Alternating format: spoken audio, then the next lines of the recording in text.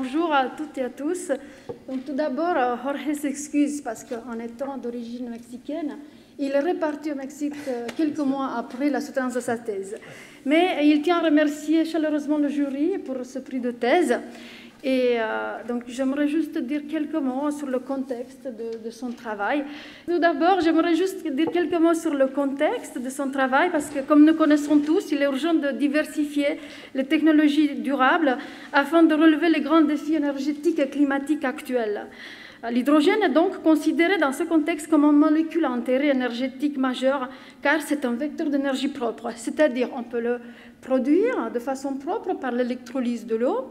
On peut le stocker dans des réservoirs ou dans des matériaux, le transporter d'un endroit à l'autre, et on peut finalement donc l'utiliser via sa combustion avec l'oxygène pour relarguer que de l'eau. Donc c'est un cycle tout à fait propre. Donc, euh, parmi les défis à relever, le stockage compact, sûr et efficace reste un verrou important à développer. C'est dans ce contexte euh, que ces travaux de thèse se situent, donc les travaux de thèse de euh, M. Jorge Montero Banuelos. J'espère que l'accent mexicain est correct. donc, il s'agit de travaux pionniers dans, dans ce domaine parce que c'est la première fois qu'on s'intéresse à une nouvelle classe de matériaux qui s'appelle des alliages à haute entropie.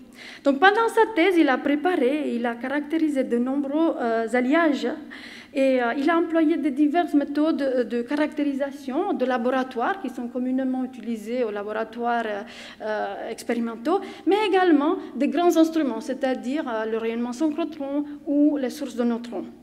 Donc, j'aimerais juste dire euh, quelques mots sur, sur, la nouveauté de ces alliages, parce qu'ils sont issus d'un nouveau paradigme dans la métallurgie, parce que ces alliages contiennent au moins cinq éléments très fortement concentrés, où la distinction entre l'élément mineur et l'élément majoritaire n'est plus pertinente ça ouvre déjà un champ de possibilités immenses au niveau des compositions.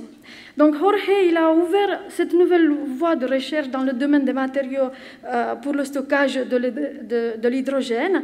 Et ces travaux pionniers se poursuivent actuellement au cadre de, de, nouveaux thèses à l'ICMPE, au laboratoire à Thiers, mais également euh, dans d'autres laboratoires français. Voilà.